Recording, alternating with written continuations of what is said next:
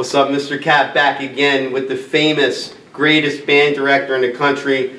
That's what I think, at least. Mr. Nace is here, and we're talking about a new class. It used to be called electronic music, but we're changing the course to something so cool audio production. And Mr. Nace is going to explain what that is and what a great class it is for you to take. Yeah, so we're super excited about this course.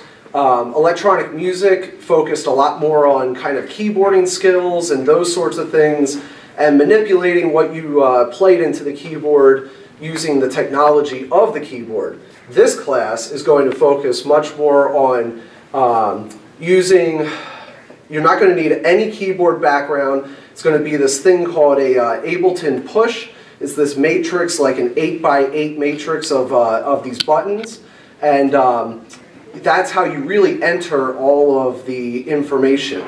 From there, you go into a program uh, called Ableton and you start to manipulate it. Uh, you can add, add these really great sequences and drum loops and all kinds of super cool things, work on uh, the ideas of panning left to right and a whole variety of those kinds of things.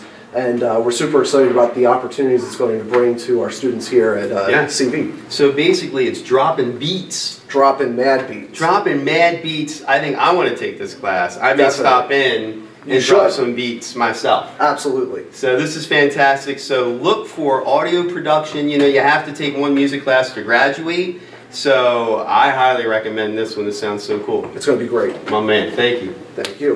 We messed up. We Messed up. That's what's up. We gotta bring it in. Need to shake. All right. Yeah.